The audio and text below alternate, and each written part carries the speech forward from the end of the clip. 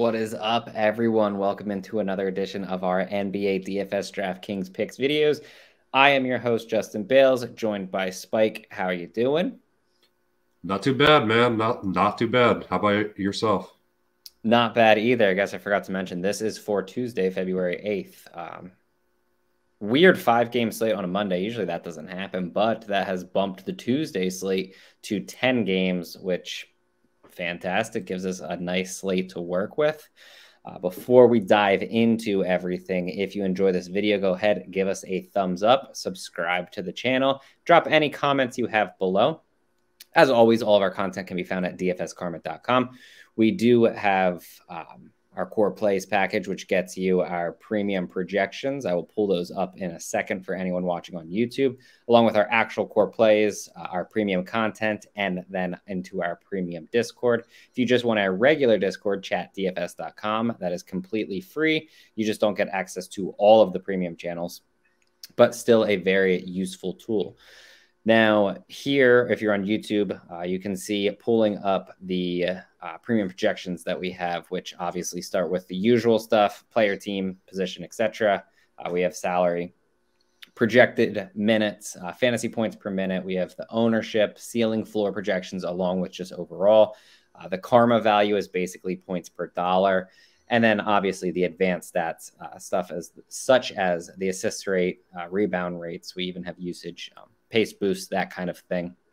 As you can see on this last night, um, no one really stood out all that much, which usually doesn't happen all that much, but only a five game slate. I believe our top play uh, in terms of a per dollar basis was Fred Van VanVleet, who um, I don't think he destroyed, but I think he was a, a very solid play. After that, you know, few options there is Bazley, Kelly Oubre, uh, Devin Booker, but that is essentially what you're getting with our projections. You can sort it by position. Um, again, dfskarma.com. You can go to dfskarma.com slash pricing to get to our core plays package. Uh, you can also just drop into the description below every link that you need. Click the little show more. Uh, you'll find all the links that you could possibly need for whatever um, it is we're talking about here. But we can shift into the injury news for tonight. I think it's important for the first thing to note Devin Booker uh, got hurt last night. He went to the bench, then he returned to the game. I'm assuming he's going to be completely fine for tonight, but definitely something that you at least can take a look at. Landry Shamet and Cameron Payne both ruled out on the other side. Shake Milton is out for Philadelphia. Matisse Thybulle questionable. Kyrie Irving, um, Lamarcus Aldridge, and Paul Millsap all out for the Brooklyn Nets. James Harden and Nick Claxton both questionable. Isaiah Jackson, Malcolm Brogdon, and Terry Taylor all questionable for the Indiana Pacers. On the opposite side, Lou Williams is doubtful and Danilo Gallinari is questionable. For the Los Angeles uh, Clippers, nothing too serious. Just Jay Scrubb uh, has already been ruled out. He wasn't going to get any minutes anyway. For Memphis, you have Dillon Brooks, who will continue to miss time, and then Killian Tillie and Santi Aldama are both uh, out for this game as well. Eric Gordon is doubtful for New Orleans, Garrett Temple's questionable. Willy Hernangomez has been ruled out. Cade Cunningham, which is a pretty big one, questionable for Detroit. Uh, Josh Jackson ruled out. Kristaps Porzingis already ruled out for Dallas, along with Maxi Kleber. And then Sterling Brown is questionable. Quentin Grimes was ruled out uh, last night. He is questionable. And Kemba Walker also was out last night, but I'm assuming that was rest for the first half of a back to back. My best guess is that Kemba Walker plays. He's not currently listed as anything at the moment, but I would assume that he does play in this game. And then Austin Rivers for Denver is questionable. George Hill out for Milwaukee. Uh, you have Carmelo Anthony out for the Lakers. Dwight Howard is questionable. And then a ton of news in the Minnesota Sacramento. Um, Prince, you know, our guy that just keeps going off. Taurean Prince, Naz Reid, D'Angelo Russell, Josh Okogie, and Pat Beverley, all questionable for Minnesota. De'Aaron Fox and Marvin Bagley, both questionable for Sacramento. RJ Hampton, E'Twaun Moore, Michael Carter Williams, and Markelle Fultz all continue to miss time for the Orlando Magic. Larry Nance Jr. suffered somewhat of a uh, setback in his injury. He has been ruled out along with Eric Bledsoe, who's already been ruled out for Portland. that's it for the injury news. One thing that I do think that we should at least mention at this point is that uh, I believe Thursday is the trade deadline. And we already saw, you know, Norman Powell, Robert Covington got traded um, for what essentially Eric Bledsoe, Keon Johnson, Justice Winslow in two seconds, was it? One second? Uh, yeah. I, th- I think it was one. Um, absolutely, you know, Portland got absolutely fleeced in that trade. I, I don't think anyone's thinking otherwise. I like Justice Winslow significantly better than most people. And I think Keon Johnson is the perfect player to go to Portland. Still think they got absolutely destroyed in that trade. Um, but, you know, that's kind of where we're at in the NBA. I know guys like De'Aaron Fox, um, he's the one that kind of reminded me to at least bring up the uh, trade deadline because Fox is almost guaranteed to be on the move. Um, so just keep that in mind. Stuff's going to change throughout the day with guys getting traded. Uh, maybe not necessarily today. It's still only Tuesday, but uh, come Wednesday and Thursday should be uh, just a hell of a time. Um, NBA trade deadline always is like that. We have rumors of James Harden getting traded to Philly. I don't know how true you think that those are, but um, you know, pretty deep into the intro here. Let's get into position by position. Spike, start us off at point guard. Who are you looking at? Uh, you know, I, I got no issues. Ish, I have no issues with Luka at the top uh, at 12 2. Um, he's going to be shouldering that offense again. It's all going to go through him. As long as he uh, doesn't, you know, pick up four four fouls in the first half like he did the other game, uh, he should be fine. Um, right underneath him, this is just huge news. Uh, if Harden plays, uh, I, I I want I want a lot of Harden. Um, it's he, there's no Ky- Ky- Kyrie. It's in Brooklyn. There's still no Durant, so you know Harden's just going to take a bunch of shots. He's going to be passing the ball left and right. He gets re- rebounds too. He can contrib- contribute with steals. Uh, if he's out, I guess I'll just j- jump down quick. If he's out, I really like uh, Cam Cam T- Thomas at 4,800. I actually played him on the early slate a couple days ago, and he kind of he kind of did his thing, and that was with Harden and Kyrie in. So uh, if you take Harden Harden off, uh, he should have a, real, a really nice game. Uh, going going back to the top, uh, Ja Morant uh, at a little over 10 10k. I think it's a really good matchup against the Clippers. Uh, the offense just completely runs through him. He's a high usage guy. There's really not much more I could say about him. He, he's, he's he, he he he looks really good up there. Uh, if you go down uh, at 8400, CJ McCollum gets a matchup against the Ma- Magic. I personally think this is someone who's probably going to be on the chopping block as well and going to probably be shipped out some some somewhere. So I feel like he kind of he's kind of aware of that too. So he's probably going to be playing even harder to kind of show teams what he's about, and he's got to play hard any, anyway because a lot of that offense run runs through him with no no Lillard, little out, Powell and Covington are gone. So I mean, he's one of the last few left that's actually still still playing right now. Uh, so I really I really like him here. Uh, you go down, and just like I said, Cam T- T- Thomas, uh, Patty Mills at 5,800. He, he's, he's getting a little up there in price but I still think he has a ceiling that can top that price. Um, you, even if Harden's in, I still like him because there's no Kyrie, uh, and, and they're and they're just really depleted with injuries right now. Uh, right underneath him at 5600 is Kevin Porter Jr. Gets a matchup against the the Pelicans again. These guys just played each other, I think, two nights ago. Uh, he really didn't have a good showing, kind of coming off of a uh, non-COVID related illness. I think he's still semi dealing with it. But I mean, 5,600 is really cheap for a guy that we know um, has d- double double upside. And you know, I mean, if his shot's falling and he's he's hot, he can uh, really do some da- da- damage. Uh, gets a lot of assists too. Uh, but that's probably about it for me. There's some guys I'm sure you're going to mention that I was saving for shoot, shoot, shoot shooting guard, but have at him. Yeah, I mean, up at the top, Luka or I was going to say Luka. Um, James Harden is the obvious guy. If James Harden is out, you can go to Luca. You can go down to Ja Morant. Completely agree there. Um, I, I, feel like those three are pretty much really the top options. Uh, I have no problems with Trey uh, Young either. Uh, specifically, if Malcolm Brogdon's out, if Brogdon's back in, I bump him down a little bit. I think well, one, I guess we'll say Jrue Holiday uh, against the Lakers. The Lakers are just god awful against versatile point guards. Obviously, that's Holiday. He's coming off of a massive game, um, just comes with a ton of upside. One other thing just to look at, I'll keep it here because we're at guard. Um, and more or less, they are uh, point guards at this point. But if D'Angelo Russell and Patrick Beverley, this whole slate kind of is going to depend on them. If they're both in, either one can be used, but they're better suited for tournaments. If one is out, the other one makes a really good option. If both are out, you can use someone like Jaylen Nowell, who we've kind of been attacking. But they get a matchup against Sacramento. So, like, even if they're both playing, it's just still a really good spot for both of them. So, I have no problems whatsoever if you want to take a shot on one of those guys or something. I this is really weird um, because we don't necessarily know his role at the moment, but Norman Powell is now point guard eligible. Yep. 24 minutes in his debut, 28 real life points, massive debut. He had uh, six potential assists in that game.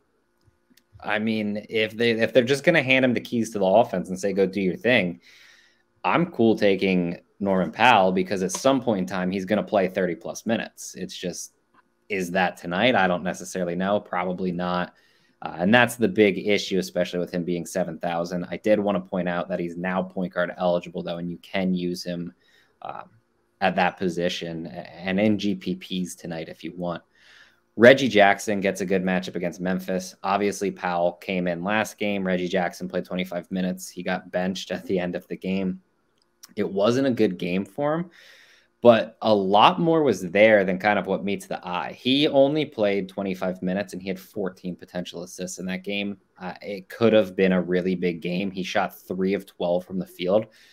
I would assume that he gets back to bigger minutes tonight. And if that's the case, you know, he dropped 49 fantasy points in the game before that. Uh, strictly GPP option. Wouldn't go there in cash games, but I do think that he's GPP viable. Obviously, you have the Brooklyn guys specifically, you know, in terms of whether James Harden plays or not. They're going to be very good options.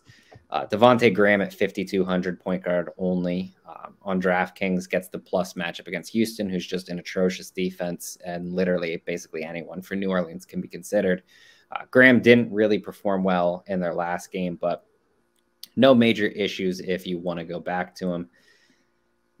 I guess the only final spot uh, that I would be looking at, and this is for the cheaper guys, is if Malcolm Brogdon is out, Duane Washington Jr. makes a really good option. He's point guard, shooting guard eligible, and uh, if he's starting, Keifer Sykes can be used as well. He's only 3,900 and point guard eligible.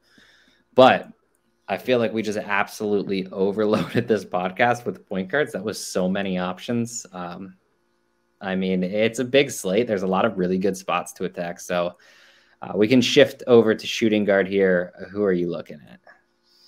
Uh, yeah, I mean, we'll start off at the top. Uh, Brandon Ingram is coming off of a massive game against uh, the Houston Rockets, and lo and behold, he gets another whack at him here. Um, I don't think you should expect another 64 fantasy points from him, but I think even at 9,200, um, he could still um, pay off that tag pretty nicely. Uh, I, I, don't see much ch- changing in this mat in this matchup. Uh, Houston's just not good defensively at all, just anywhere. Um, and if Brandon Ingram's going to sh- shoulder the load again, then you know, count me in. Uh, I'm. I, I I don't think this is someone I'd, I, I'd, I'd use. I'd keep your eye on him to see if Caris LeVert is available to play. I'm kind of curious to see what Cleveland's actually going to do with him. Um, but I guess in like larger field tournaments, if he's playing, he's definitely worth a shot. No one really knows kind of what his role is going to be in that o- offense.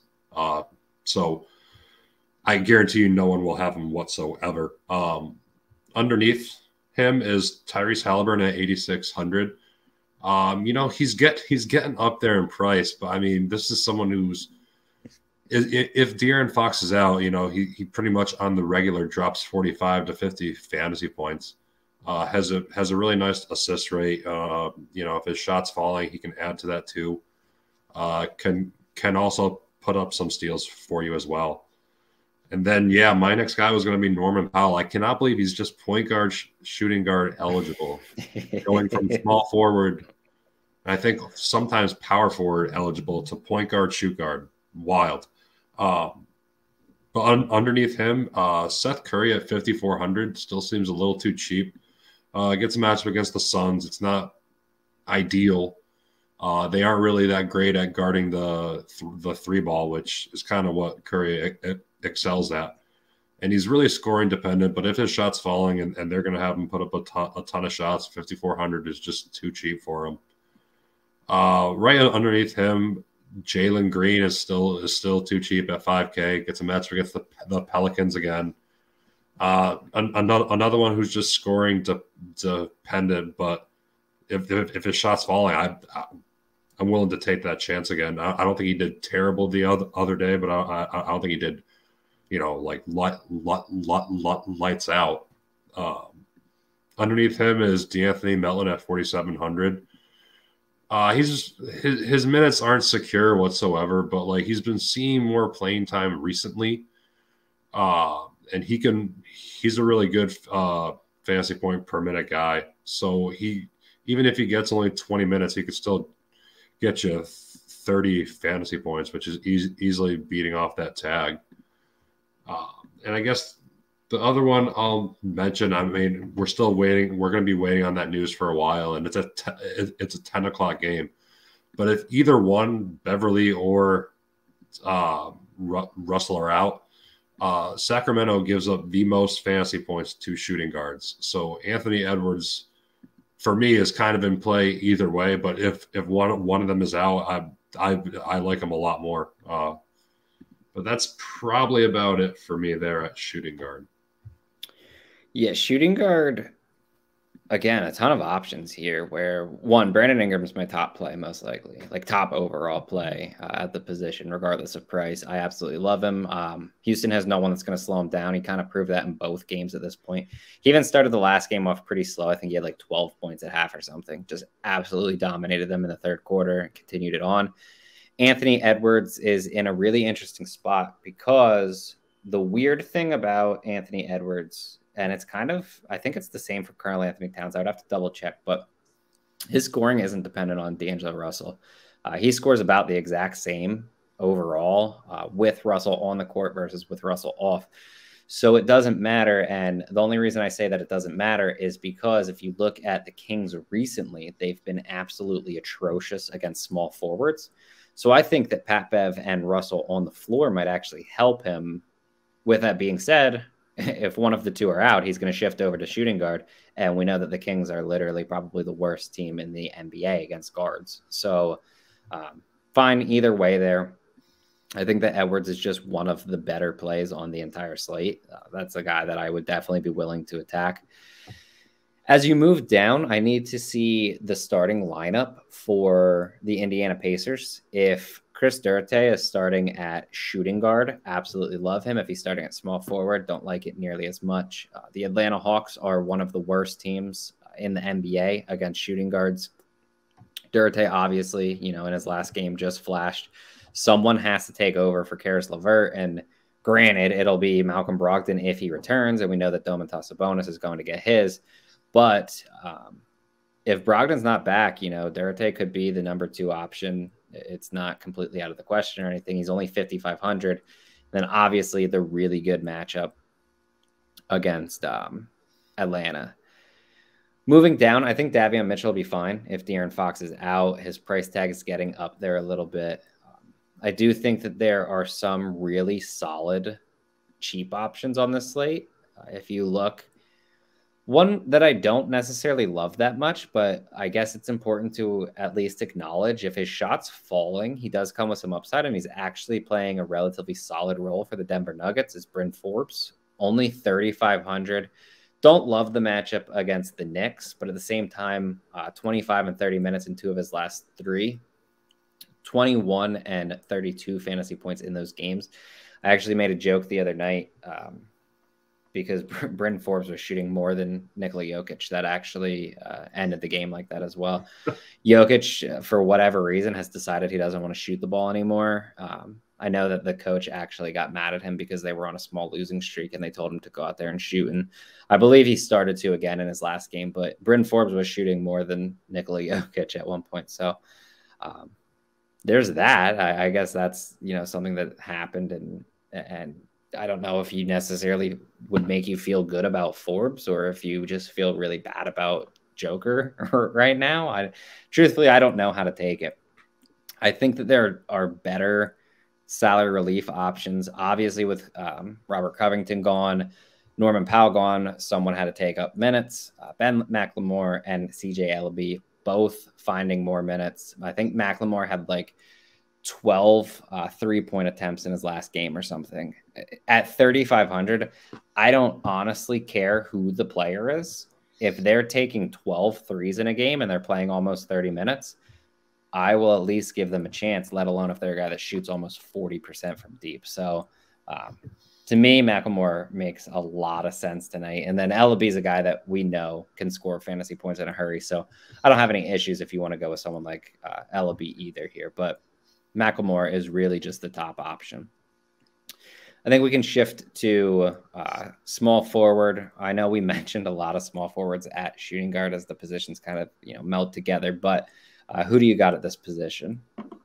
Yeah, I'll just throw a couple out here just so we're not naming off the entire slate. Um, it is getting pretty ridiculous. It is, but it is to be fair, it is a it is a ten game slate, so uh, there there's just a lot of options and a lot of different ways to go. Um, I guess at the top, I, I can't believe I'm going to say this, even with them all healthy and pro- probably playing. LeBron James at 10.5K isn't terrible to me. The only reason I say that is because he's going up against Giannis. So you know how LeBron likes to be in the spotlight. And this is like one of those games where it's just like he wants to prove that he's the best. So it's on TNT too, I think. Exactly. So I mean, it's a late game too. So you know, all I mean, all eyes are going to be on it. Um, so I wouldn't surprise me in the least bit for him to kind of take over the game at any point in time and all points of time. Uh, just to see him kind of go try to stay toe to toe with Giannis. Uh, I mean, there, there, there's just so many good op- options really up high, and you can probably only pick t- two of them if you're lucky. So, uh, I don't know if I get to him, but I, I do think it's a really good option there as, as long as as long as he plays questionable. Pro- he's probably probable. He is probable. Uh, other than that, uh, just to keep keep it shorter, uh, Dorian Finney-Smith at 5K, I think is still too cheap. Uh, the Mavericks are just missing a lot of pieces right now. Uh, gonna have to wait for a little bit of news there, but this guy's seeing over 30 minutes a game right now, and he still really hasn't had any kind of a ceiling game whatsoever. Um, I, I don't know if it's coming. I know he can do better than he has the last couple couple of games. So at 5K, he can easily beat that tag if his shots falling and some some re, rebounds fall his way. uh, and then one one more I guess I'll mention is uh, Garrison Matthews at 4,300 is a pretty good value play for Houston. Uh, uh, he just the other day playing the Pels, I think he dropped like like 25 fantasy points, and I'll take that from someone under 4,500 any day of the week. Uh, but more or less, that's about it. If if if if you really want to take like a like a like a punt, you could you could. It, it's gross, but like someone like Josh Richard Richardson, um, just I mean, if if Harden's out, I, I don't see that game staying close for long. Um, so it's just a punt play, but that's about it for me at small forward. Yeah, it's, it's kind of funny because you said you're going to keep your pool at small forward um, shorter because we've been naming off so many guys. I don't think that's true. I think you kept your pool at small forward shorter because small forward is an atrocious position once again. It is. It is. It's ugly. Um, I don't know. There's there's not that many guys that I would add to kind of what there's a bunch of guys that are shooting guard eligible that also you can use at small forward. So go back and re-listen to shooting guard. Those are really the best guys here. But um, I agree with what you said about LeBron. I actually was thinking LeBron myself because obviously you have a nationally televised game. He gets against one of the best players in the league. These are the type of times that LeBron likes to show out. Uh, and 10 5 isn't that pricey, really. Outside of that, I think you can move down. You can use someone like Marcus Morris. If his shot's falling, he has tons of upside. Um, Franz Wagner at 5,500 against Portland. They're really bad against small forwards, but obviously the team dynamic has changed a little bit. I don't anticipate with, you know, Ben McLemore getting more minutes that their defense is going to get all that much better. Um, so I do think that he's fine. Another guy, I mean, I feel like every time I even look at him where I'm like, oh, I want to use him or I would consider using him, I just feel like I've already missed the boat. But Reggie Bullock is 5,600. He scored 40 plus in two of his last three. He scored 25 plus in five consecutive. Over those five, he's shooting almost 50% from deep. It's so I don't I don't even know how to categorize this. It's wild. Yeah, I don't I don't I don't get it. I I used to like Reggie Bullock, but it's not like he's this world beater. Now he gets a matchup against uh, Detroit, who's obviously not a good team or defense. So it's it feels like Reggie Bullock's one of the better plays at small forward, doesn't it? It does. I mean, I think oh, I think some people will probably get a little scared away by that 5600, but uh they should. I, That's not a good price for for Reggie Bullock. It's, it's not, not. It's going to keep him low owned, but I mean, if if if he's going to keep playing the way he's playing, you know, he can beat that tag. But I mean, he's definitely not high on my list, but I mean, he's definitely worth me- mentioning. It's it's crazy. I think we can shift over to power forward where you know I'm sure there's a few more plays, but um, a few more plays at power forward than small forward. I don't mean that there's more small forward plays. Um, moving to power forward, who are you looking at here? Uh, I got no problems with Giannis up top. Personally, not gonna gonna get to him. Um, there's just there's there's just uh, between him, Middleton, Holiday. I mean, I know Giannis is going to get his, but I just feel like there's be- there's better s- spend ups. You know, call me cra- mm-hmm. cra- crazy. Uh, underneath him, uh, Domantas Sabonis at 9400 is looking pretty nice. I mean, it'll be a little more dependent on Brogdon, but uh, he's he's coming back into his own. It's, it's, it's too cheap. He really hasn't had a good season at all. But uh, I think with LeVert gone, he's going to have to step up a little more. And this is a decent spot against the Atlanta Hawks. Uh, yeah, you go down some more. Uh, Wendell Carter at 6,800 is a pretty good play against a decimated Trail Blazers team. I mean, besides Nurkic, they really don't have a lot of a lot of big men there. Uh, and Wendell Carter is someone that can, you know, he can go and dunk on you, or he can go out and shoot the three. Uh, comes comes with with with plenty of opportunities to rebound, steals, blocks. Just overall, he's a really a really great player. Uh, other than that, you want to go down. Jarred Vanderbilt at 5,300 against the Kings. I got no issues with that whatsoever.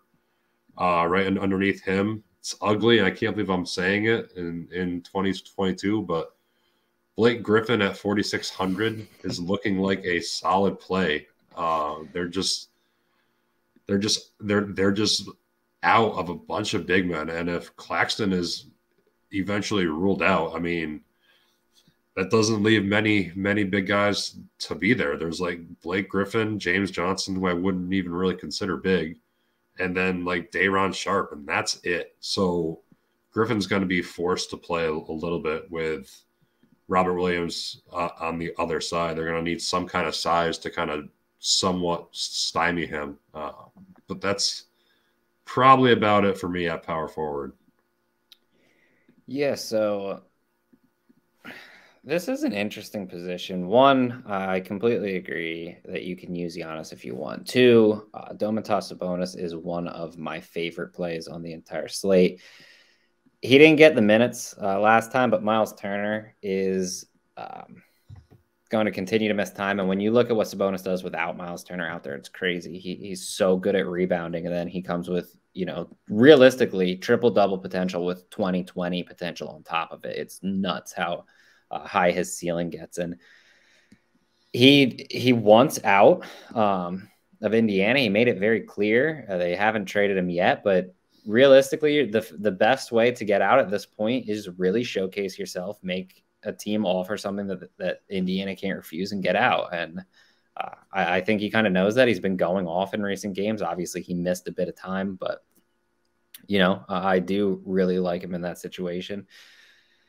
Moving down, I feel like it.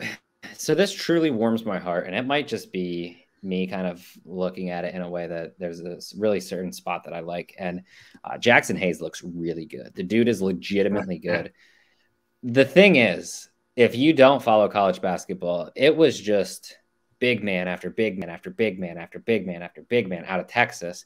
Started with Miles Turner. Um, Miles Turner, uh, obviously very good player. Mo Bamba was in the group. Uh, Jaxson Hayes, Jarrett Allen, all of them came from Texas. Jaxson Hayes legitimately looks like all of the other ones are looking at this point, right? They're yeah. just really good players. They've developed extremely well he's finally getting minutes. Now, I don't think they're safe. We talked about him before we came on the pod, and he played because Herbert Jones immediately got into foul trouble, which gave him first half minutes. And then Jonas Valanciunas got into foul trouble in the second half, which then gave him second half minutes. And all of it kind of, you know, played out perfectly for Jaxson Hayes to get almost 30 minutes. The big thing is he doesn't need 30 minutes to hit value at his current price tag. He comes with the upside to do it much uh, shorter amount of time, especially against a team like Houston. I don't think he's safe. I do think he's at least reasonable for 5,500.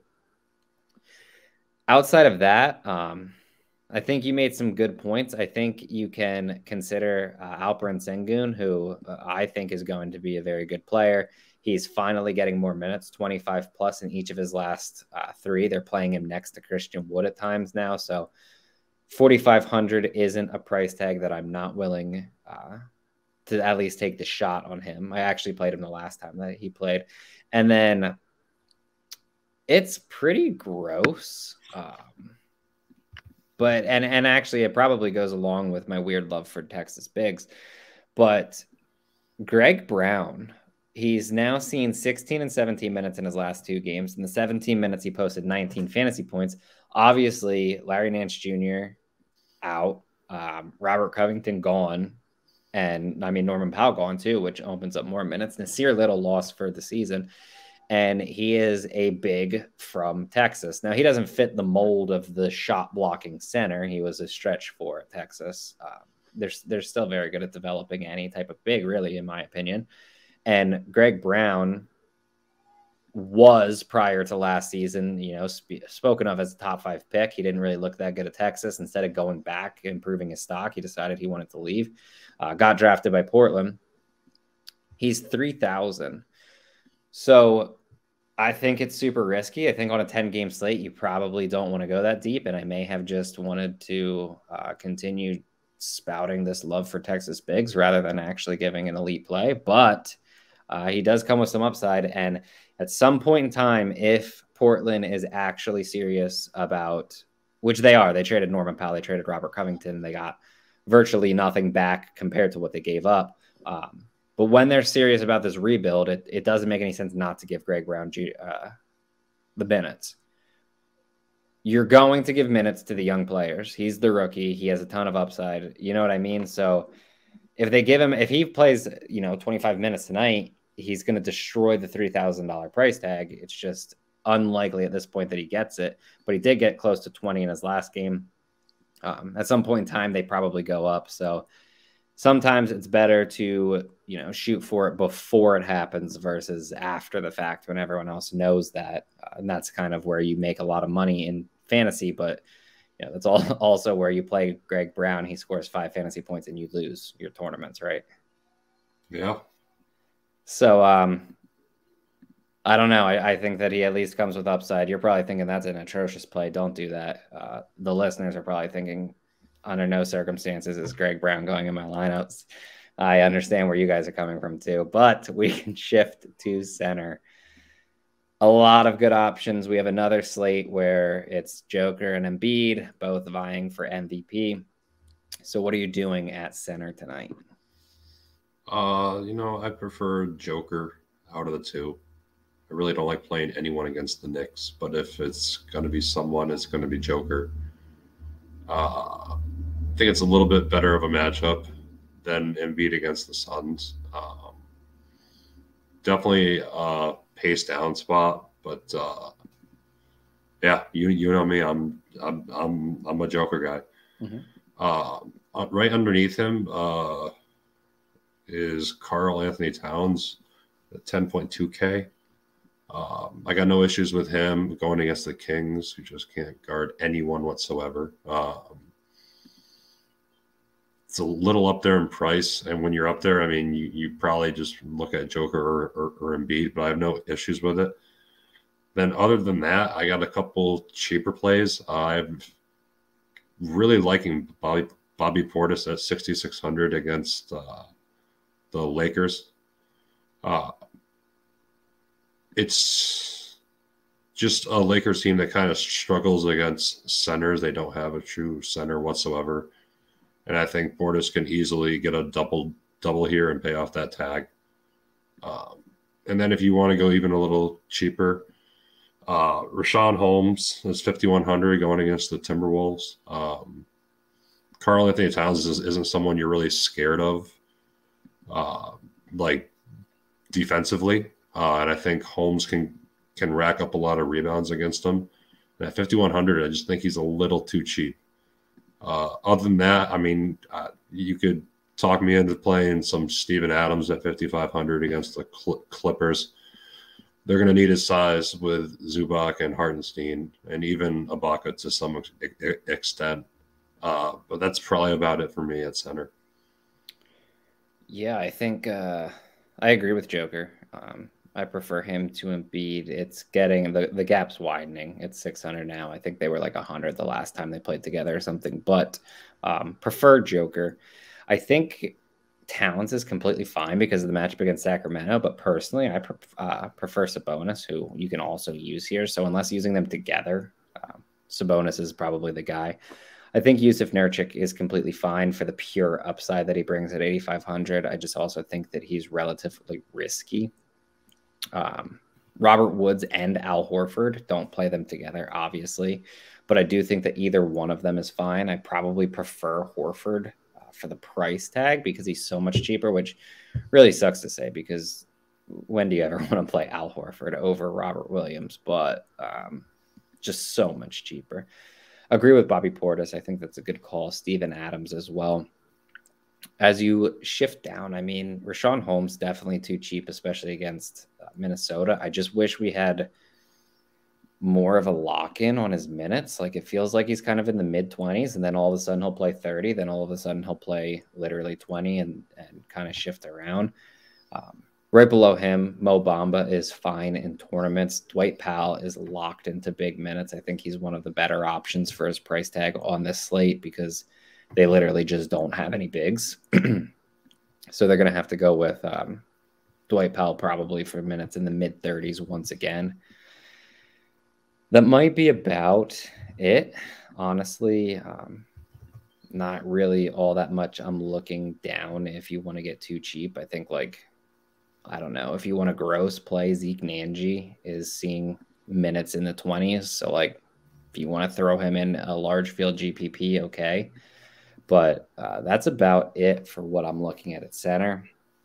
That uh, was a lot, a lot to digest. We gave out a ton of plays. It was a 10 game slate, a really good 10 game slate where a lot of great games that we can attack. But um, that's what we got for you guys. Again, if you enjoy the video, go ahead and give us a thumbs up. You can comment anything you want below. We'll try to be in throughout the day to answer them. Uh, check out the description for all the links you could possibly need for our core plays, Discord, etc. Thank you for watching. Good luck tonight. Hopefully, everyone hits it big.